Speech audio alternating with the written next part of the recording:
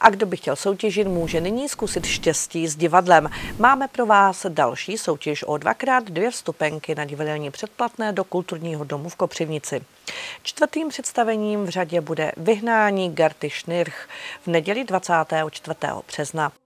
Historická fikce Vyhnání Gerty Schnirch zachycuje dramatický osud česko-německé ženy, která se provnila jediným. Narodila se v nesprávný čas na nesprávném místě s nesprávným jménem. Inscenace je příspěvkem k doposud nedostatečně reflektovaného tématu odsunu českých Němců. Osud Gerty Schnirch ukazuje události druhé poloviny 20.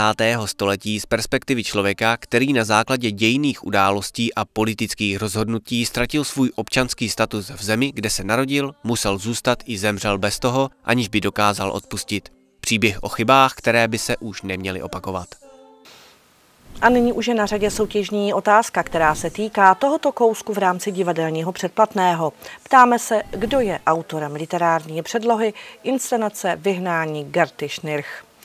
Může to být za A Alena Morčtajnová, nebo za B Radka Třeštíková, anebo za C Kateřina Tučková. Odpovědi posílejte prostřednictvím formuláře na webových stránkách ktkstudio.cz lomítko soutěž. Uzávěrka je ve středu 13. března v 10 hodin. O výhercích vás samozřejmě budeme informovat na webových stránkách KTK a v Kopřivnickém magazínu. Stupenky budou připraveny k převzetí v našem televizním studiu v Kopřivnici na ulici Záhumení 1152.